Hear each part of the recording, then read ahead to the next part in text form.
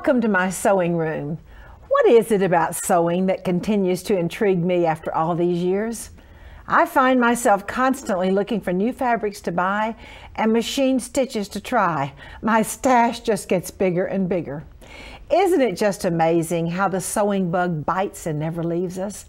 Our tastes may change along with our sewing skills, but the simple seaming of two pieces of fabric together brings such joy. Today we're going to learn more tips and techniques to make each stitch just perfectly. Join me for a fun time in my sewing room and I'm very glad that you came.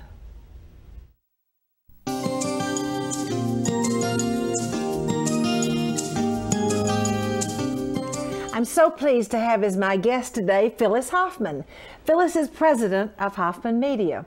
She is the publisher of Southern Lady Magazine, Just Cross Stitch Magazine, and Southern Baby Magazine. Phyllis, welcome to the show. Thank you, Martha. Today we're going to do this beautiful doll dress and we're going to talk about the skirt. And these doll clothes are absolutely fun to make because you can use your remnants of lace and fabrics if you choose um, not to purchase even special fabric to do a doll dress with. I love to do matching daughter and doll dress for my friends who have little girls. I have two boys, so it's not in our house that we have dolls, but I love to give them. Today, let's talk about how we make a skirt that's this beautiful, and it's really quite simple. What we do is we determine on our skirt where the hem needs to go. We need to make this hem deep enough so that when our lace is attached, um, it hangs over the edge slightly, but covers where our hem is. And so as we begin our, our skirt, let's look at how we have done this. It's simple straight stitch. That takes hemming um, to an easy level where you just simply turn, turn your edge under and straight stitch. Then we position our lace as we've done here and be sure and pin it. Pinning is essential to make sure that all the little tips hang off the edge in the appropriate place. When we get to the final step, we're going to zigzag the lace in place. And using, of course, the same color as your lace, you'll simply take a narrow zigzag stitch and then finish the skirt according to the instructions. This beautiful skirt has ribbon that is run through the lace and these wonderful ribbon threaders or bodkins are very easy to use. I like these that are very flat and have the opening wide enough to get uh, the ribbons through. And of course you pull it back onto itself. Be sure and cut your ribbon at a slant, that will help. And then you can simply stretch it out and take it and start weaving through the places in your lace. And Martha, that's all there is to it. That makes a beautiful skirt, and as we pull this through, you can see the ribbon just lies perfectly flat. Well, I loved your idea about doing the matching either daughter and doll dress or granddaughter. Now, you know, I have granddaughter, so I love to do things, but that would be such a treasure to have the pictures made, and a lot of our viewers really do make matching daughter, granddaughter, uh, and doll dresses. It's a great thing. Phyllis, thank you so much for thank being you, Martha. here. And now then, let's go to the technique boards for some exciting sewing techniques.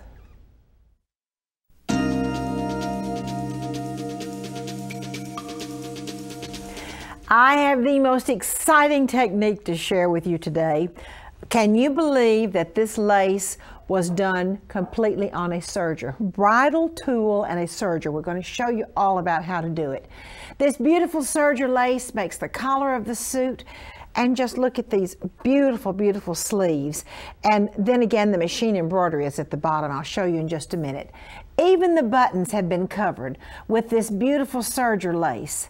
On down on this wonderful jacket is machine embroidery, beautiful lace machine embroidery that circles this serger lace and nearly every bit of this was made on the serger. Now, how is this magical technique done? First of all, you have two pieces of water-soluble stabilizer and some bridal tulle. In this case, it's black tulle, and you're going to see a, a beautiful jacket in just a minute. Water-soluble stabilizer on the top, black bridal tulle, water-soluble stabilizer on the bottom, and you use a temporary spray adhesive to sandwich those three layers together. The next step is to draw the grid for your, for your lace, however wide you want it. Lines, of course, in this direction, lines in this direction, and that's where you're going to make this wonderful uh, serger lace. It's better to start when you do your stitching around the middle of your piece of fabric. In other words, stitch this way all the way out to the right, come back, stitch to the left. Then after one direction is completely stitched on the tulle with the two pieces of stabilizer, go back and stitch the other side, once again starting in the middle and then moving out to the left and out to the right. I'm so happy to have as my guest today Missy Billingsley. Missy is an educational consultant for Baby Lock, and Missy is the one that has invented this wonderful serger technique. Missy, welcome to the show. Thank you, Martha. It's so nice to be here. Oh, just start showing it. Okay. And your suit, your beautiful suit you have on out of black. Yes. It, it's, it's a fun technique. It's a little time consuming, but it's a lot of fun, and you get really good results. So what I've taken is two layers of water-soluble stabilizer. This is not the film type stabilizer. This is a more woven stabilizer, so it's more stable for your, your stitching. So take your stabilizer, sandwich a layer of bridal tulle in the middle, and another layer of water-soluble stabilizer on the back. That's your base fabric. And so once you have that sandwiched together, you're going to draw your grid. Now this is a 60 degree diamond shape because I didn't want to do curves in case my curves got really crooked. So I, I, chose the straight lines because they definitely work better than curves. So I'll draw it either way. And these are just guidelines for me to follow when I'm stitching. Okay.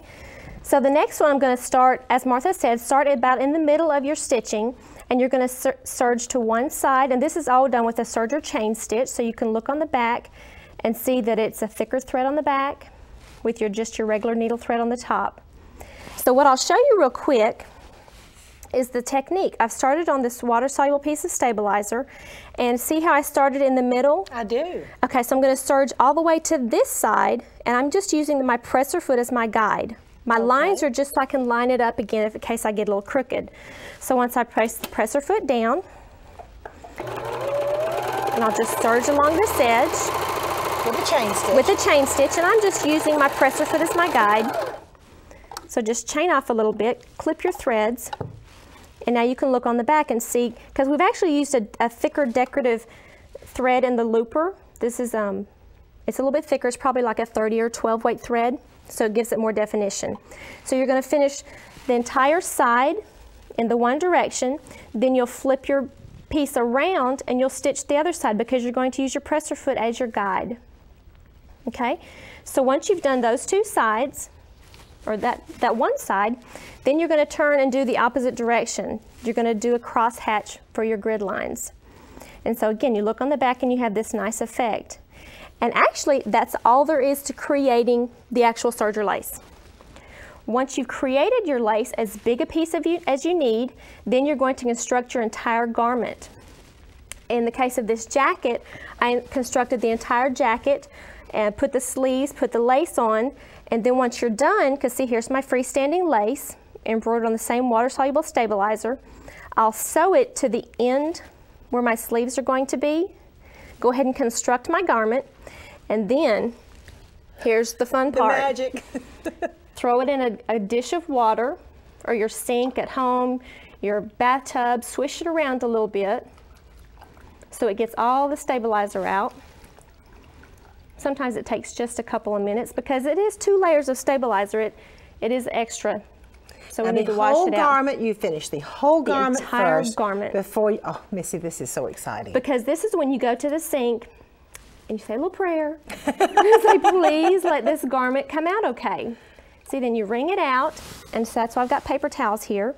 Oh, yes, You yes. lay it out and let it dry yes, and see what it looks like. Missy, this is so exciting. Isn't it fun? Oh, it really, really is. Thank you so much. You're welcome. For inventing this wonderful technique. And when you came in with these clothes, I was just so excited. Oh, well, it's, it's not a technique I invented, but I did embellish on it some. And this is a sample right here. I don't know if you can tell the two different colors in the stitching, but this is just to remind the viewers to do a stitch out sample of their fabric so they can tell if the color is going to be appropriate because this one is a little bit lighter blue than the one, the, the, desi the desired effect. So just do a stitch out sample just to be sure. Oh, Missy, that's so exciting. Oh, you have sleeves. And I've got sleeves. This is um, a case where I had a jacket and a blouse pattern, but the blouse only had short sleeves. And I really wanted long sleeves for this, for this jacket.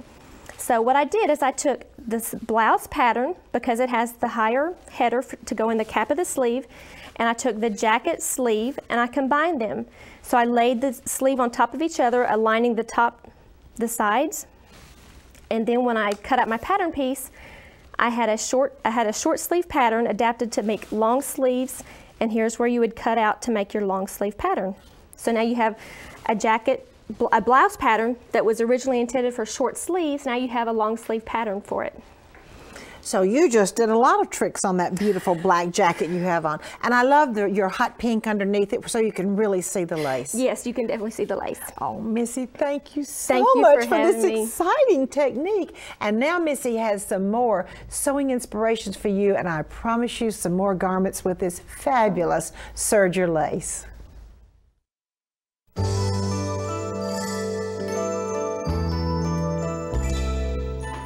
Can you even believe this magnificent christening dress made with Missy's technique? Every bit of this is was made on a serger. Missy, tell us about it. Well, the christening dress is, is something, like I said, I wanted to do because it, it's a definite showpiece and um, it just shows off the serger lace technique perfectly. With the, the bodice, it was just a basic yoke bodice and I added the nice ruffle to the, to the collar. And this skirt itself is the full 45 inch width of fabric and a lot of people don't think you can get that much fabric in a serger but you actually can stitch it just fine and that's with the water soluble stabilizer and everything. Now Missy these tucks that look exactly like folded uh, quarter inch tucks uh, tell us about them. They're actually pin tucks created on the serger. We have a special foot for the serger that just makes the fabric right up and makes perfect beautiful pin tucks. And they're just beautiful. They're really mm-hmm. those beautiful folded. Could I see the bonnet? You sure can. Oh, just look at the bonnet. Isn't that precious, the matching bonnet mm -hmm. to mm-hmm. go with the christening dress?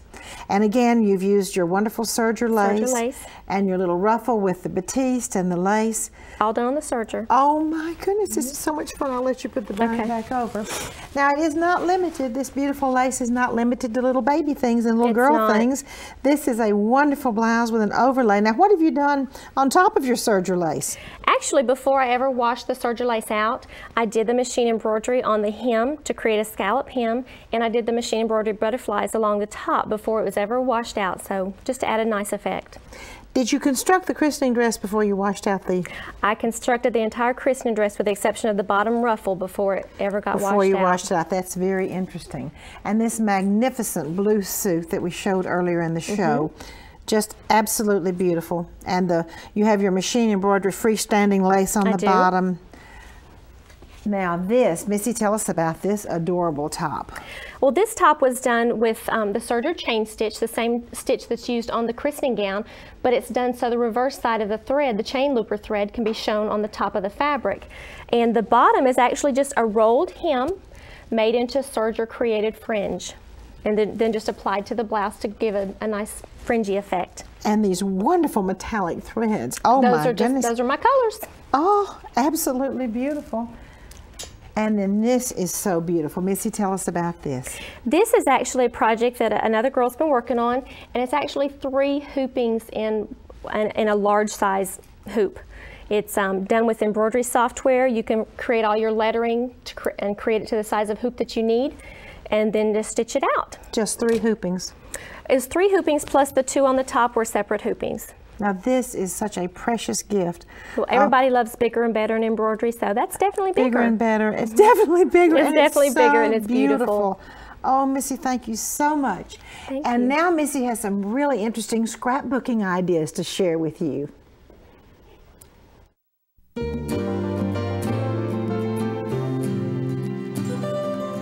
Missy, I just cannot wait for you to share what you have. And it's such a cute idea. Well, Martha, I have some pictures from um, some scrapbooking pages that we did that I made for the serger licensing that we had last year in Huntsville for the licensed serger teachers. Um, what I did on the first page is I just took on my regular sewing machine, I took some and did some crazy decorative stitching along the top. I printed out a really cute poem that one of the girls wrote and attached it to the page. And then on the machine embroidery, I did the Ode to the Serger licensing, which is, I may not have a, a nice handwriting, but I can certainly stitch it out on the embroidery machine and it looks beautiful. Then I showed some pictures of um, some ladies getting some help by Miss Kathy. And so that was one page. The second page is was our fancy night, the night we went out to a nice dinner, and so I put little sparkles on here. Again, I did machine embroidery for the for the titles of the groups with the decorative mulberry paper on the back side. And then on the front, you see these little Hotfix Swarovski crystals. They are so much fun to decorate pages with. So the next pages I have, this one is just done with more decorative stitching on the regular sewing machine. Now this one is a fun page. This, if you do any quilting, or if you're even if you're not a quilter, if you're a scrapbooker, a diehard scrapbooker, you can do these quilt blocks with your paper instead of fabric. I have this one right here. It's a, it's a square and a square type technique where I cut out, fussy cut each individual lady's picture and placed it all around the diagram like a paper piecing template would be. This one is just a basic nine patch quilt square, which is what I'm going to show for you. But if you see, I have it decorative stitched on the top in between the two fabrics, to the two pieces of paper, excuse me, to join them together. And so that's what we're going to show. You can see that I've got it started here with the first two pieces joined together. And I'm going to go to the second row and I'll grab my two pieces of paper. The two I have so I have a picture and my and my regular piece of paper. And I'm going to lower my presser foot and I've chosen a decorative stitch on here. It's like a feather stitch. And then you're just going to stitch keeping the two the two fabrics aligned. Except it's pieces except of paper. pieces of paper exactly I love it, Missy. I love it and just stitch it and together just stitch like it you're together. making a quilt. Exactly like you're making a quilt. But actually, it's a little easier than making a, a quilt easier. because you don't have to do all the the pressing and all that fun stuff. So no pressing on the paper. no pressing on the paper whatsoever. And that's all. And you sew the whole thing together, mm -hmm. and then you put it on the the bigger piece and stitch the whole thing down that's the paper. That's exactly what I did.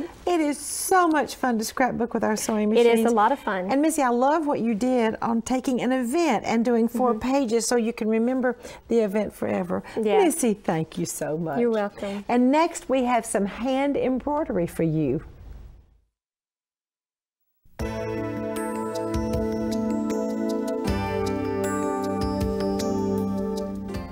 I'm so pleased to have as my guest Wendy Schoen. Wendy is president of Wendy Schoen Design. She is a frequent designer for Sew Beautiful magazine. She has studied embroidery at the Royal School of Needlework in London and in Madeira, Portugal, and truly has taught embroidery all over the world. Wendy has designed 30 patterns and she has authored four books. Wendy, welcome to the show. Well, thank you, Martha, for having me. Today, what I would like to talk about is the type of cut work eyelets called teardrop eyelets.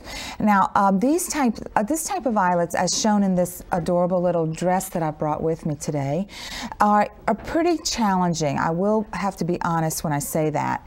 But I'm going to show you a very easy way to make them, or an easier way to make them, so that you be you'll try it at home. So let's start and look at the hoop that I brought with me first. And I've drawn out a, a nice teardrop shape. Um, I'm going to start with one thread and I'm actually going to begin on the edge of the eyelet when I begin my running stitch. Now I'm going to not use a knot so I'm using a waist knot which will be cut off later just to secure the end of the thread so that it doesn't pull through. And I'm going to start by coming up on the edge. And this type of work is best when done with a very um, tightly woven fabric or securely woven fabric. You don't want to use a loosely woven fabric for this because after all you will be cutting into the fabric and um, that is might run the risk of of tearing your uh, opening larger than you planned on doing. All right, so let me go to the next hoop um, where I've got my running stitch completed. Um, when you come around on the tip of the eyelet, make sure to elongate that last stitch right on the on the end. What that will do is it will help you when you come around on that end with your whip stitches and uh, make the point more prominent. So I'm going to come around here and end right on the edge again where I started or began. And when I come out, I want to come up just on the outer edge of the running stitch. The running stitch is actually my foundation stitch. You need a foundation stitch around these because for the same reasons I said before with the fabric, once you cut into the fabric, you don't really want it to break apart on you. Now, I'm going to begin by putting in a very sharp pair of scissors and I'm going to cut straight up to one edge and fan the stitches out on either side like this. Now, the next cut I have to make, I'm going to have to turn the work or rotate the work and cut right up into the point. Now, this particular type of work is worked either with a whip stitch on the edge or meaning just little satin stitches, or you can do a buttonhole stitch. Today we're going to be doing a whip stitch. Now, in order to stitch the work, you need to remember one thing. You always go into the opening first and then come up on the outer edge. Just remember, the water always runs down the hole. So think of it that way and you'll always remember. As the stitches go around, I'm going to be holding the fabric down and I'm going to be placing my stitches fairly close together. You don't always have to have them exactly one side by side, each of them side by side, but at least have them not overlapping. So let me go to the next hoop now. When approaching the tip, here's where the skill comes into play. You, as you can see, I have my whip stitches um, carefully stitched around and the fabric is turned behind.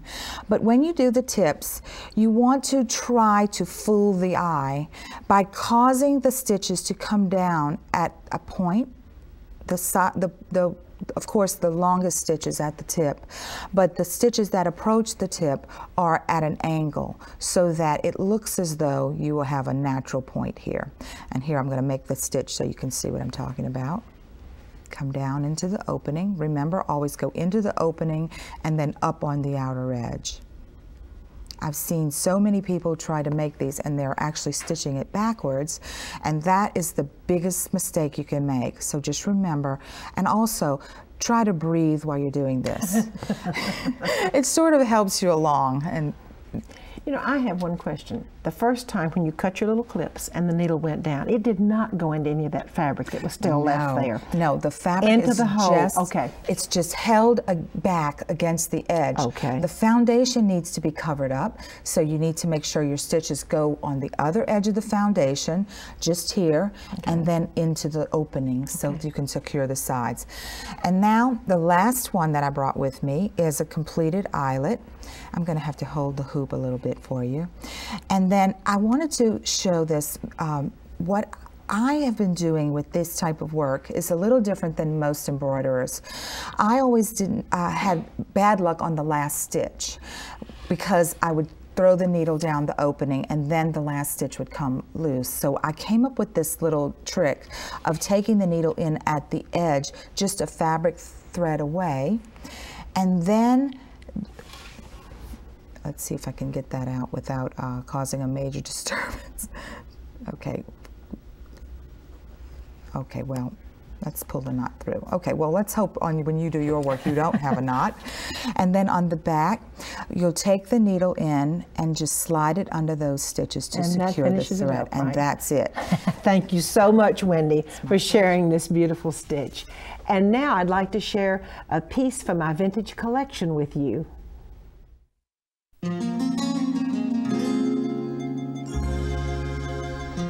I absolutely love this little dress. Now let me tell you the interesting story.